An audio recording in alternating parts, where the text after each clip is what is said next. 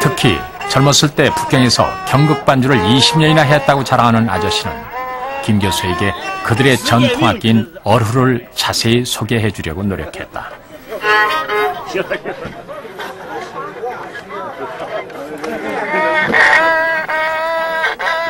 김 교수는 그 악기를 손에 잡고 우리나라 해금식으로 연주를 해보려고 했지만 잘 소리가 나지 않는다.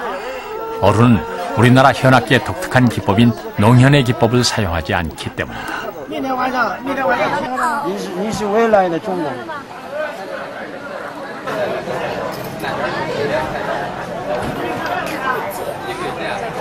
아 이게 저그 경북이 아니고 네. 산동 빵츠 빵츠시라고 이게 아까 두드리면서 시골에 예, 애들끼리 싸는 빵주스. 빵주시. 빵주시래. 산동지방에만 있는 거구나. 아, 산동지방에 독, 독특한 지방.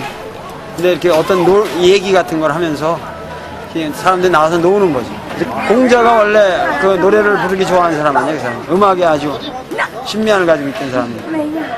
민해 쪽이야. 아, 민해. 민해 갈라. 민해. 민해 졸라 후자. 아.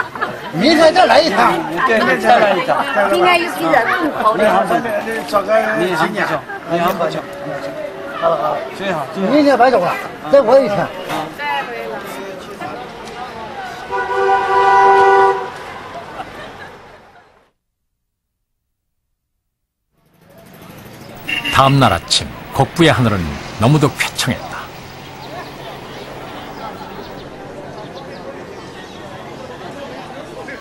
공묘 앞은 전 세계에서 공자를 경배하러 찾아오는 사람들로 끊임없이 붐비고 있다.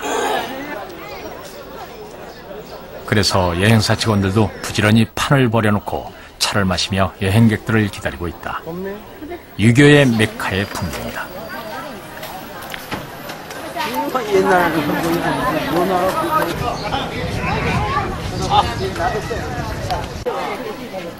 공묘의 최외각은 금성옥진이라 쓰여진 돌기둥문으로 시작된다.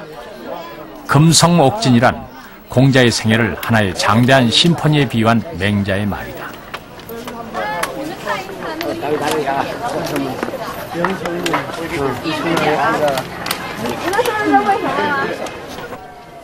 그 다음에 전개되는 영성문도 역시 공자를 존숭하여 별에 비유한 말이다. 중국인에게 영성은 문화를 관장하는 별이다. 사당 공사사당에 오셔서 공사님을 제하시는 그 적에 먼저 있습니다. 먼저 하늘이 저 영, 영성이라는 저 별을 제하 지납니다. 신도를 따라 전개되는 금성옥진, 영성문, 태화원기, 지성묘 이 모두가 공자를 경배한 최고의 장사의 말들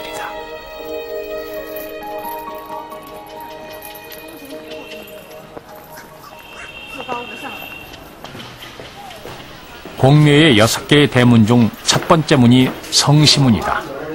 성시란 때를 알았던 성이란 맹자의 말이다. 이 문을 지나면 은나라의 사직을 상징하는 측백나무들 사이로 귀신들이 걸어다닌다는 신도가 길게 뻗어 있다. 여기서 더 걸어 들어가면 명나라 때 건립된 홍도문이 나온다. 다음에 대중문은 금나라가 세웠다. 이것은 무슨 뜻일까? 외곽으로 나갈수록 시대가 후대란 뜻은 공면은 새 왕조가 창업될 때마다 끊임없이 확장됐다는 것을 의미하는 것이다. 공자의 위대함은 교육자로서의 말년의 삶에 있다. 이 행단은 공자가 검은고를 뜯고 제자들이 책을 읽었다는 중국 최초의 사립학교였다.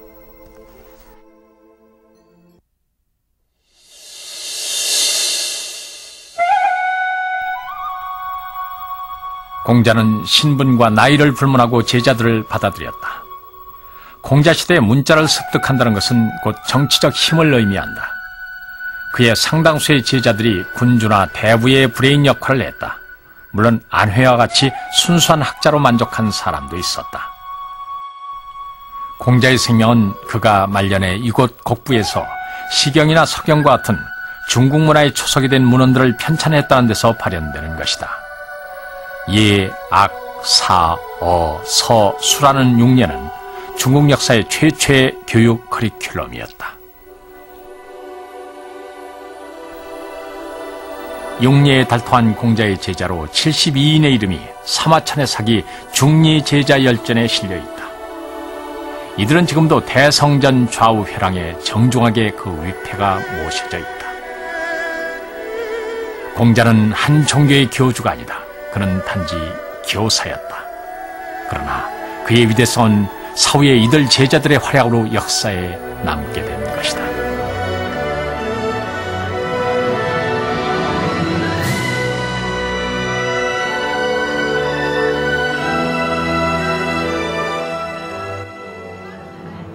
국부의 중심, 공자의 신의가 모셔져 있는 사당 대성전.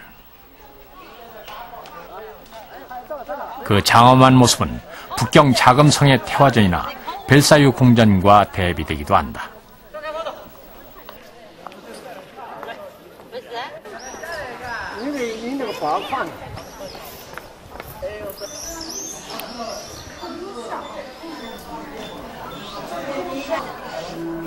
나는 어떤 특정한 종교를 신봉하는 종교인이 아니다. 그러나 나는 내가 존경하는 한 어른에게 인사하듯 공자의 위패 앞에서 절을 하고 싶어졌다.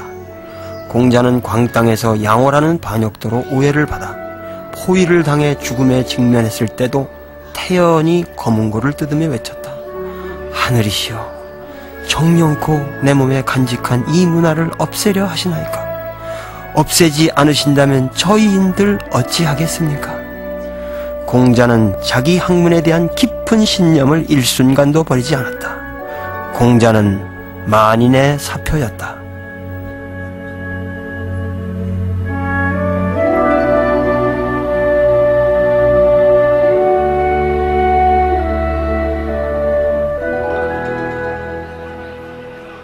공자는 왕이 되어본 적이 없다. 그러나 그의 사당은 천자만이 장식할 수 있는 쌍용으로 새겨져 있다. 청나라 극성기의 걸륭제는 사랑하는 자기 딸을 공시가문에 출가시켰고 이곳을 아홉 번이나 찾아왔다. 사람들은 황제가 올 때마다 이 쌍용 기둥을 숨기느라 빨간 휘장을 둘렀다. 그러나 어느 날 번개바람이 그 휘장을 거두어버렸다. 그때 어떤 일이 벌어졌을까? 그 해답은 시청자들의 상상에 맡기고 넘어가려 한다.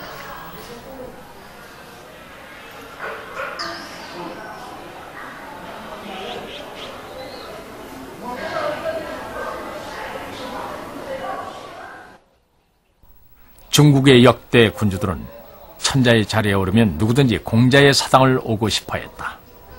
대성전 앞에 빽빽이 들어선 비각들은 역대 황제들의 거창한 방명록인 셈이다. 세월이 지나면서 66개의 비각들이 여기 우뚝 섰다. 이것은 정치의 권력보다 교육자의 도덕성이 우선한다는 극단적인 상징이다. 도덕적인 공자의 도덕성에 자기들이 이렇게 참여했다는 것을 보임으로써 인민들한테 영원히 기억될 수 있다고 생각하는 그런 방식이 있죠.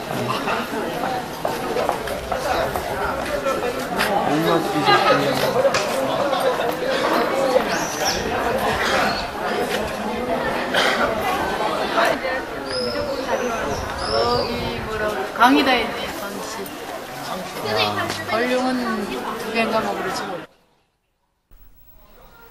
그런데